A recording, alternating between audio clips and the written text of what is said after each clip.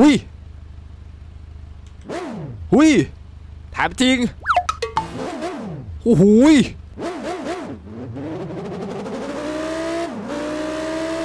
เอ้ยเอาว่าเอาเลยครับท่านผู้ชมครับ และในที่สุดวันที่เรารอคอยนั้นก็มาถึงแล้วกับการอัปเดตใหม่ในเกม Car Parking Multiplayer ต้องบอกว่าช่วงนี้เกม Car Parking เนี่ยเรียกได้ว่าอัปเดตแบบถี่มากเลยนะทุกคน คือช่วงประมาณ 2-3 เดือนที่ผ่านมาหรือว่าหลังจากปีใหม่ผ่านมาเนี่ยคือเกมอัปเดตเนี่ยน่าจะไม่ต่ำกว่า 2-3 ครั้งได้นะ คือมันก็เป็นอะไรที่ดีแล้วนะ เอาจริง ๆ คือแบบมันดีมากเลย เพราะว่ามันทำให้เกมเนี่ยมันมีอะไรใหม่ ๆ เข้ามาหลายอย่างสำหรับวันนี้ก็เช่นกันนะครับผมเกมได้ทำการอัปเดตใหม่เป็นที่เรียบร้อยแล้วนะครับผมซึ่งวันที่ผมทำคลิปอยู่นี้เป็นวันที่ 21 ก็เป็นอัปเดตล่าสุดเลย วันนี้เนี่ยเดี๋ยวเราจะมาดูกันนะครับผมว่า เกมนี้ได้อัปเดตอะไรมาบ้างนะครับผมผมก็ไม่รู้ว่าเกมนี้อัปเดตอะไรมาแบบหลาย ๆ อย่าง ผมเอาเท่าที่ผมรู้แล้วกันทุกคนว่ามันมีอะไรที่พอพอที่แบบว่าผมจะรีวิวให้ท่านผู้ชมได้ผมก็จะจะรีวิวแค่นี้ เอาละอย่างแรกพอเราเข้ามาหน้าเกมที่เห็นอย่างชัดเจนเลยคือมันมีแชทเด้งขึ้นมาบนเนี้ยบนได้เห็นไหมเห็นเมาส์ผมไหมมันมีตรงแชทนี้เด้งเข้ามาใหม่ครับผม อันนี้จะเป็น list รายชื่อเพื่อน โอ้ นี่ไง อ๋ออันนี้คือแบบคือปกติเนี่ย list list เพื่อนในเกมนี้เนี่ยมันจะไม่มีนะครับ ผมมันจะมีก็แค่ตรงนี้อ่ามันจะมีก็แค่ตรงนี้นี่คือรายชื่อเพื่อนที่เราสามารถกดเข้าไปเล่นด้วยกันได้ แต่จะไม่สามารถคุยกันนอกเกมได้ แต่ณปัจจุบันนี้นะครับผมเกมเนี่ยสามารถคุยกันได้แล้วนะครับผมโดยที่เราไม่ต้องเข้าไปคุยกันในเกมนะฮะ เดี๋ยวผมจะลองแบบว่าเดี๋ยวมีใครออนไลน์หรือเปล่า อันนี้ก็เป็นโอ้โห แล้วผมจะรู้ได้ไง อ๋อ นี่ไงมันขึ้นตรงนี้ว่าตอนนี้มีคนออนไลน์ศูนย์คนทับ 30อ๋อได้เพื่อนเพื่อนมีสูงสุดแค่ 30 คน แจ้งเตือนนี่คืออะไร อ๋อ ตรงแจ้งเตือนนี่จะเป็นแบบว่าเพื่อนที่เรายังไม่ได้กดยอมรับ โอเค เอาไว้ตรงนี้ก่อนนะครับผม ก็คือกดสามารถกดเข้าไปแชทได้ใช่ไหมนี่ไงอะไรอันนี้คืออะไรเนี่ย ส่ง send request อะไรเนี่ย subset send portal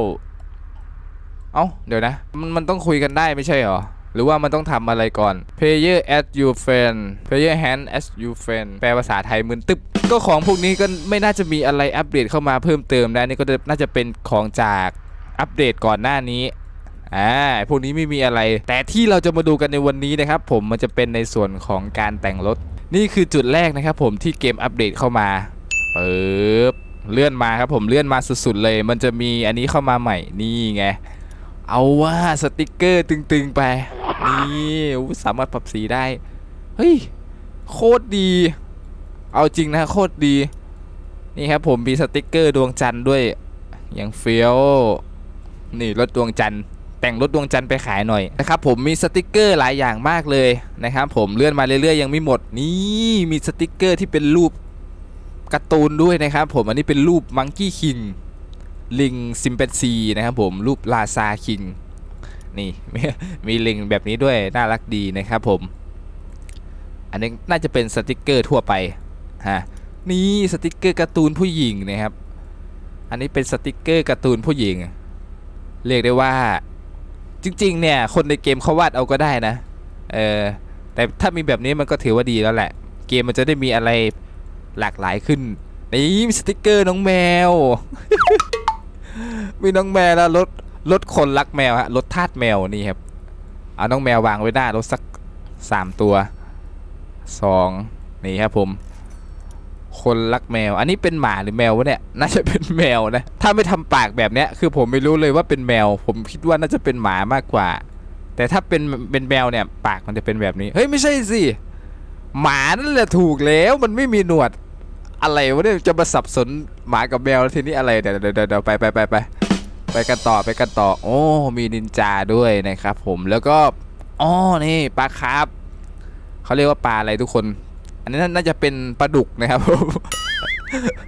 น่าจะเป็นปลาดุกนะครับปลาดุกคาร์ปนะครับ ก็จะมีประมาณนี้ในส่วนของสติกเกอร์ที่อัปเดตเข้ามาใหม่ นอกจากนั้นก็ไม่มีอะไรแล้วอ่าจะมีเพิ่มมาประมาณประมาณ 10ถึง20 สติกเกอร์ได้นี่แหละ ประมาณนี้แหละก็ถือว่าเยอะอยู่ โอเค ต่อไปนะครับผมที่อัปเดตเข้ามาใหม่ ถือว่าเซอร์ไพรส์ผมพอสมควรเลยนะทุกคน จะเป็นในส่วนของล้อนะครับผมอ่าปกติล้อเนี่ยก็จะใส่แต่ล้อเดิมๆเล่นเป็นล้อเติมบ้างล้อในเกมเอ่อล้อเงินในเกมบ้างอะไรแบบเนี้ยแต่ครั้งนี้ครับผมเกมอัปเดตมาใหม่ครับ มีล้อทองเพิ่มเข้ามาไอ้บอกเลยว่าโคตรเฟี้ยวว้าวโอ้ดูเฮ้ยอย่างเท่ อุ้แล้วแล้วแล้วแบบประเด็นคือมันสามารถใช้ทองซื้อได้ทั้งหมดเลยนะครับผมไม่ต้องแบบว่าอ้อันนึงใช้ไซเงินซื้อ อันนึงไซทองซื้ออะไรแบบนี้คือ มันเป็นทองในเกมหมดเลยดูดิอุ้ยล้อนนี้โคตรเฟี้ยวว่ะลองปรับสีขาวให้หมดดิเอ้ยทำไมผมแบบว่ามันมึนหัวว่าตอนนี้เฮ้ยล้อนี้มันเข้ากับ BM คันนี้เลยนะเอาจริง 100 ทอง แต่ผมยังไม่ใส่นะเพราะว่าเราไม่ได้มาแต่งรถ อันนี้แค่มารีวิวให้ดู ไอ้ล้อนี้ก็เฟี้ยวโอ้โหการสวยมากครับทุกคนล้อทองล้อทองทำไมแบบมันเป็นสีทองอะโอ้โหสุดจริงอะไรจริง มีเยอะครับผมนี่ครับโอ้โหสามารถเลือกแต่งได้แบบเยอะเยอะขึ้นกว่าเดิม อันนี้ล้อจานจานข้าวล้อจานใส่กับข้าวไม่ใช่สิน่าจะเหมือนล้อคมไฟมากกว่านะครับผมเฮ้ยเฮ้ยล้อนี้โคตรเท่ อ่าล้อนี้โอ้โหผมอยากได้ล้อแบบนี้แหละมานานละในเกมแข่งรถมันต้องมีล้อแบบนี้ อันนี้ต้องทำเป็นแบบว่าล้อเงินนะครับโอ้โหอย่างเฟี้ยวว่ะดูดิมันเฟี้ยวมันสุดจัดเลยอะสุดจัดเลยทำไมต้องตื่นเต้นขนาดนี้ด้วยวะเนี่ยไอ้ผมชอบล้อที่มันเป็นขอบลึกๆแบบเนี้ย ผมว่าถ้าเอามาใส่รถแต่งเนี่ยมันค่อนข้างสวยเลยนะอันนี้คือแบบ ความคิดเห็นส่วนตัวผมนะ คือล้อขอบลึกแบบเนี้ยมันสวย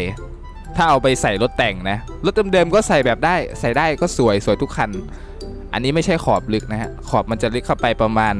2 นิ้วนี่แหละมั้งนี่ครับผมโอ้โหเยอะเลยเฮ้ยล้อนี้สวยว่ะเอาจริงล้อนี้สวยจริง เอาทำเป็นสีได้ไหมถ้าทำเป็นสีจะเท่ไหมโอ้โหสวยเลยล้อนี้สวยเลยห้าก้านด้วย เหมาะกับการเอาไปทำแบบใส่รถดิฟ ผมว่าเข้ากันมาก นี่ล้อเหมือนดาวเลยว่ะนี่ขอบลึกอีกแล้วแต่ขอบจะออกแบบว่าทรงหนาๆหน่อย ไปเราไปกันแบบรวดเร็วเลยโอ้โหล้อเยอะมากครับเฮ้ยล้อนี้สวยเฮ้ยก้านเล็กแบบนี้สวยครับผม ถ้าใส่เป็นสีดำมันจะโอเคไหมลองดูสิแต่ผมว่าผมต้องเปลี่ยนสีรถ โอ้โหแม็กสวยแม็กสวย ที่เขาทำเป็นไอ้ Liberty Walk กันใช่ไหมเขาจะใส่ล้อแบบนี้แหละล้อขอบลึก สวยอะเออ ลืมไปว่า R35 เนี่ย มีชุดแต่งเข้ามาใหม่ชุดด้วย ใช่ไหมทุกคน เดี๋ยวเราจะลองไปซื้อมา ลองรีวิวดูกันสักหน่อย มีรถใหม่เข้ามาไหมอันนี้ผมไม่รู้นะครับ อ๋อมีนี่ไงนี่ไง Escape นะครับผม Escape 500 ทองเลยเว้ย น่าจะมีเข้ามาแค่คันเดียวนะทุกคน อันนี้คือรถใหม่นะครับที่อัปเดตเข้ามา แต่คลิปนี้ผมไม่ได้จะมาเล่นรถคันนี้ดิ แต่ก็ไม่เป็นไรอะซื้อเก็บไว้หน่อยละกัน ซื้อเก็บไว้หน่อยก็ไม่เสียหายอะไรครับผมแล้วเราก็เดี๋ยวขอดูเครื่องยนต์หน่อย โอ้โห 500 ทอง เครื่อง 2 0 0 0 0 0ก็ใส่ไม่ได้ ใส่ได้แค่เครื่อง1 0 0 0 0แสนจะบ้าตาย แต่ก็ไม่เป็นไรครับผม เดี๋ยวผมจะทำให้ลายมันเหมือนในหนังเรื่อง Fast and Serious โอ้อัพเต็มได้แรงม้า 757 แรงม้านะครับผมเดี๋ยวเดี๋ยวผมจะแต่งทีหลังนะ เดี๋ยวเรายังไม่แต่งเพราะว่าเดี๋ยวผมซื้อเก็บไว้ก่อนเดี๋ยวผมจะพาทุกคนเนี่ยไปดูชุดแต่งของ R35 นะครับ R35 นี่มันจะอยู่เทียร์ระดับไหนวะเนี่ยอุ้ยราคามันอัพหรือเปล่าวะหรือว่ามัน1ล้าน3แสนแต่แรกอยู่แล้ว กดซื้อไปเลย มาดูกันครับผม ได้ข่าวได้ข่าวว่า มีอัปเดตมาใหม่นะครับผมชุดแต่งรถ R35 นี่ไงโอ้โหมันเปลี่ยนเป็นทองหมดเลย คือถ้าใครยังไม่รู้นะครับ แต่ก่อนชุดแต่ง R35 เนี่ยจะเป็นชุดแต่งที่ใช้ใช้เงินในเกมปกตินะครับ เป็นเงินที่หาได้ปกติในการซื้อชุดแต่ง R35 แต่หลังจากที่อัปเดตมาทุกอย่างเปลี่ยนเป็นทองหมดแล้วนะครับ ผมใครที่มี R35 ชุดแต่งก่อนหน้านี้ถือว่าแบบเอาไปขายได้ราคาดีเลยนะครับผม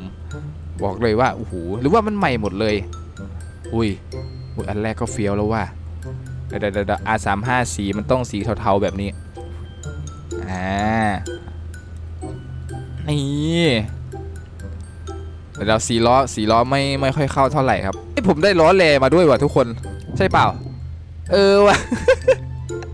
สุ่มได้ล้อแลมาด้วยประเด็นอาสามห้าโอ้อ้โหโคตรคุ้ม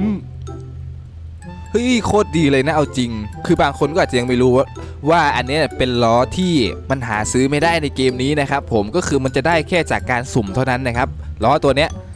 เอ้ยอะไรมันจะโชคดีขนาดนั้นวะเนี่ยโอเค เดี๋ยวเราไปดูชุดแต่งเอ้ยเกมมีอาการกระตุกนิดนึงว่ะทุกคนโอเค ไปดูชุดแต่งอะชุดแต่งหายไปไหนด้านหน้าครับผมชุดแต่งแรกฮะ อันนี้เป็นเดิมๆแล้วชุดแต่งนิสโมนี่มันอันไหนวะเนี่ย อันนี้ก็สวยเป็นคาร์บอนข้างหน้าเป็นคาร์บอนอุ้ยสวยเลยครับ อันนี้ชุดแต่งอันนี้คือมันมีมีอยู่แล้วนี่ว่าเฮ้ยนี่ชุดแต่งใหม่โอ้โหนี่มันชุดแต่งรถแข่งเลยปะเนี่ยถามจริง อันนี้ก็เป็นชุดแต่งที่มีอยู่ก่อนหน้านี้นะครับผมอุ้ยมัน150ทองเลยนะโอ้โคตรแพงเลยเอ้ผมชอบอันนี้ว่ะจัดเลยไหมจัดเลยดีกว่า จัดเลยครับผม ต่อไปเรามาดูในส่วนของบัมเบอร์ด้านหลังกันบ้างนะครับผม อันนี้ก็เป็นชุดแต่งที่มีอยู่แล้วนี่ว่า ผมจำได้ เนี่ย แต่อันนี้นี่คือใหม่แน่นอน อันนี้คือใหม่แน่นอน เพราะว่าดูหน้าตาแบบโอ้โหโคตรแบบดูดันเลยครับ ผมใส่อันราคาเท่าไหร่วะ อันนี้น่าจะเป็นชุดแต่งใหม่ปะหรือว่ามันเปลี่ยนใหม่แค่บางส่วน ผมใช้ไอ้ร้อยสามสิบทอง ต้องใส่ให้มันเข้ากันด้วยนะครับ โอ้โห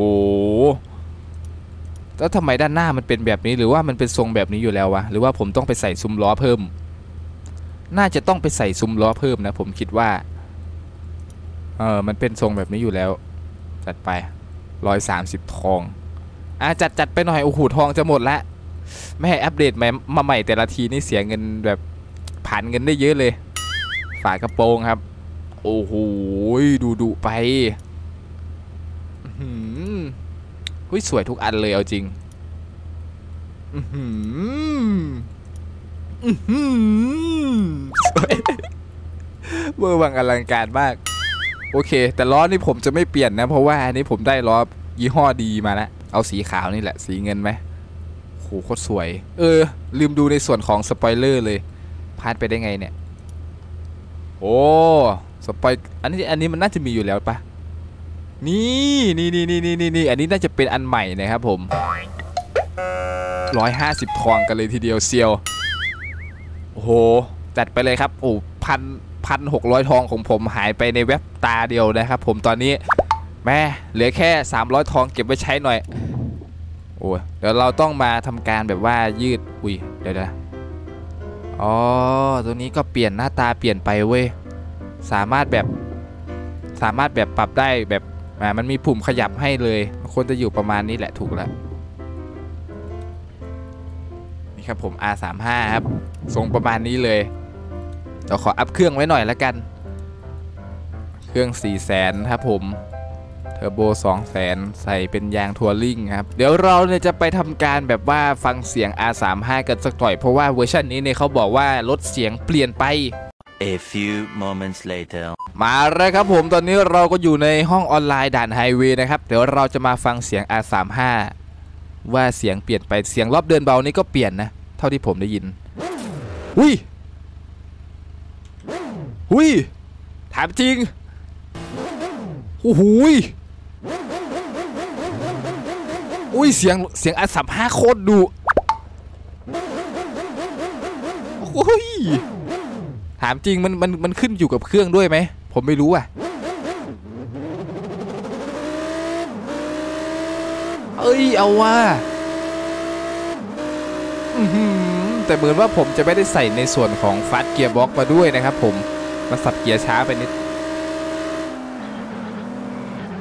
เอ้ยตึงๆไป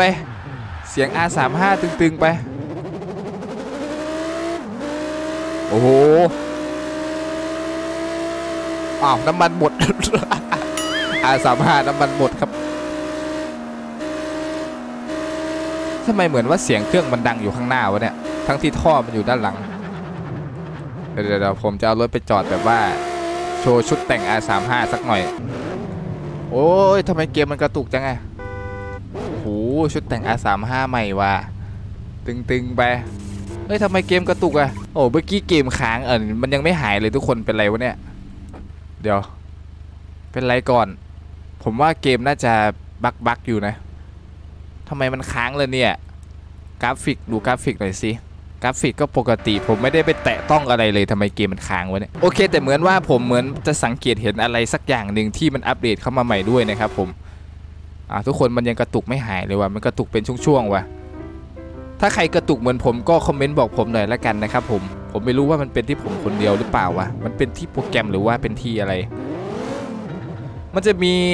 ที่อัปเดตเข้ามาใหม่นะครับ ผมมันจะเป็นตัวนี้ครับเขาเรียกว่าการล็อกความเร็ว เห็นไหม เห็นเมาส์ผมไหมตรงมืออตรงซ้ายจอนะครับ ผม ผมเอาเมาส์ชี้อยู่นี่ เราสามารถล็อกความเร็วให้มันวิ่งเองได้นะครับ เป็นไง แล้วก็เอาไว้แบบว่าถ่ายถ่ายรูปเท่ๆไม่ต้องไปกดคันเร่งค้างนะครับผม แบบเอาไว้ขับถ่ายรูปเท่ๆสวยๆแบบเนี้ยผมทำให้ดูอื้อหือแล้วก็ล็อกเอาเอาเอาเอาเอาเอาเอาเอามันจะไปไหนเนี่ยอ๋อมันวิ่งผิดเลนนี่ครับผมมันจะล็อกความเร็วของมันเองเอา R35 ชุดแต่งพังแล้วนี่เขาท่าว่ะ สวย สุดยอดเอาไปทำไฮไลท์เท่ๆได้เลยนะในเกมเนี้ยแต่ผมจะปรับความเร็วขึ้น เอาสัก มันได้เท่าไหร่สามร้อยเอาสักสามร้อยนะ อันนี้ผมไม่ได้กดคันเร่งนะครับ นี่คือมันเร่งเอง นี่ตันอยู่ที่299ว่ะโอ้โหยสุดจริงอะไรจริง มีอะไรใหม่อีกบ้างอันนี้ไม่น่าจะเกี่ยวนะครับผมสำหรับเสียงรถ R35 และชุดแต่งก็จะมีประมาณนี้เลยนะครับผมที่ผมมารีวิวให้ท่านผู้ชมได้ดูกันนะครับ เดี๋ยวเราจะไปดูรถกันอีกคันหนึ่งนะครับผมคันที่ผมเพิ่งซื้อมา 500 ทองสำหรับรุ่นนี้นะครับ Escape นะครับเดี๋ยวผมจะต้องเปลี่ยนลายให้มันเป็นเหมือนในหนังเรื่องฟาสก่อนว่ะทุกคนแล้วรอสักครู่หนึ่งนะ A few moments later. โอเคทุกคนครับสำหรับเจ้า Mitsubishi S-Clip คันนี้ครับมัน S-Clip หรือ S-Clip วะเท่าที่ผมไปอ่านชื่อมามันน่าจะเขียนว่า Mitsubishi S-Clip S-Clip อะไรประมาณนั้นนะครับผมเป็นรถเอ่อ Paul Walker จากฟาสภาคแรกเลยนะครับผมสำหรับรถคันนี้ เท่าที่ผมแต่งได้ก็จะได้มาประมาณนี้เลยทุกคน ไม่รู้ว่าท่านผู้ชมจะมองว่าเหมือนหรือเปล่านะแต่ผมพยายามแบบว่าทำให้ใกล้เคียงมากที่สุดแหล้วแต่เหมือนว่าผมจะขาดอันนี้ไปวะเฮ้ยมันไม่เหมือนเลย ไม่สวยอะ่ะผมว่าถอดดีกว่าอ่าสำหรับ S คลิปของเราก็จะมีประมาณนี้เลยที่แต่งมานะครับผมและรถมันดูสูงๆไปนิดนึง โหลดเตี้ยลงครับอ่าโอ้โหได้เลย เรามีรถ 2 คันละ R35 ชุดแต่งใหม่กับ Honda เออไม่ใช่ Honda Mitsubishi Eclipse แล้วมัน warp มาไหนวะเนี่ย ผมกด warp แบบออกไปข้างนอกแล้ว หุยเสียงเพราะว่า เดี๋ยวเดี๋ยวเราแบบว่าขอฟังเสียงแบบรอบแบบ ค่อยๆเบิ้ลน่ะ มันจะค่อยๆเบิ้ลได้ยังไงวะเนี่ย มันมีวิธีอยู่นะ แต่มันต้องปรับคันเร่งอะผมไม่รู้ว่าปรับตัวไหนจำไม่ได้ มันต้องปรับคันเร่งยังไงวะคันเร่งคันเร่งอ่านี่ไง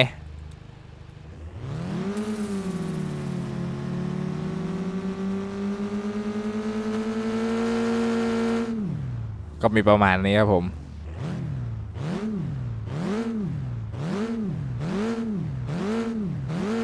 โห สวยงาม เสียงอย่างพอเลยว่าเสียงท่อใหม่อะแต่ผมปิดตัวนี้ไว้ก่อนโอ้เสียงพอมากเลยครับ ผมชอบว่ะ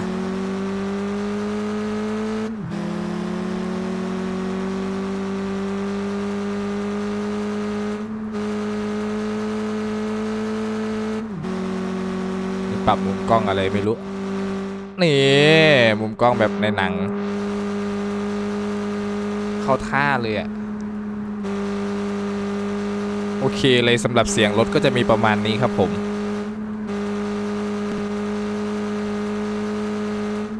โอเคครับทุกคนครับสำหรับคลิปนี้นะครับผมก็จะมีประมาณนี้เลยสำหรับการที่ผมพาทุกคนมาดูการอัปเดตใหม่ในเกม Car Parkingนะครับผมนะผมไม่รู้ว่าผมได้รีวิวไปหมดทุกอย่างหรือเปล่า ถ้าผมตกหรือว่าผิดพลาดอะไรไปยังไงก็ต้องขออภัยท่านผู้ชมไว้มาณที่นี้ด้วยแล้วกันนะครับผมใครรู้หรือว่าใครทราบว่าอะไรที่มีอัปเดต ใหม่เข้ามาบ้างก็คอมเมนต์บอกผมหน่อย ผมจะได้แบบว่าเอามารีวิวให้ทุกคนได้ดูกัน อันนี้ก็เอาเท่าที่ผมรู้แล้วกันในคลิปนี้ ก็สำหรับคลิปนี้ในวันนี้ก็จะมีประมาณนี้นะครับผมก็ขอบคุณทุกคนมากๆเลยนะครับที่รับชมคลิปนี้เดี๋ยวคลิปหน้าเราค่อยมาเจอกันใหม่ในเกม Car Parking นะครับผมสำหรับวันนี้ก็สวัสดีครับ